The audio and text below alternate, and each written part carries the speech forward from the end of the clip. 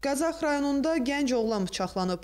1995-ci il təvəllüdlü Mahmudov Qoca İlqar oğlu şəxsi münasibətlər zəminində aralarında yaranmış mübahisə zamanı tanışı 1997-ci il təvəllüdlü Bayramov Sərxan Teymur oğluna üzərində olan bıçaqla xəsarət yetirib.